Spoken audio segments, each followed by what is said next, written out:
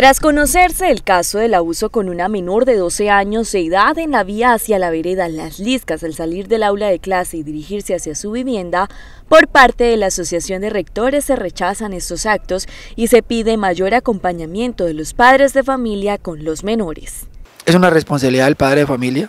haber entregado a su hija a este establecimiento educativo y haberla nuevamente recogido a la hora de la salida. La verdad es que es un llamado de atención para los padres de familia, porque ellos son los que directamente inciden y son los que la primera escuela está en la casa, en el hogar. Y a ellos es el 100% de la responsabilidad frente a los temas de acceso y permanencia de los establecimientos educativos en el tema de educación. Nosotros eh, tenemos unos protocolos eh, dentro del establecimiento educativo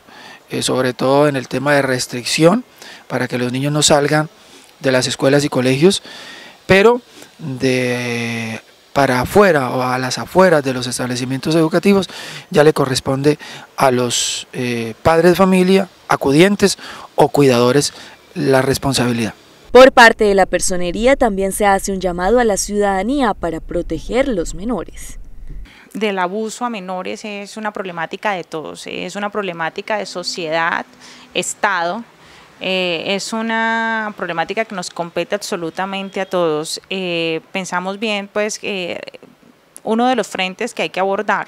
es el tema del transporte escolar, revisar si eso tiene algún tipo de injerencia en que estos riesgos ocurran, pero tenga usted muy presente que no por el transporte escolar eh, estamos minimizando de alguna manera el riesgo. Las personas, eh, pues que se inclinan por este tipo de delitos eh, son personas que pueden estar en su casa. Puede ser un familiar, un tío, un primo, puede ser su papá, eh, son conductas que básicamente eh, eh, son difíciles de minimizar el riesgo. Debemos tomar entre todos las medidas necesarias para proteger a nuestros niños.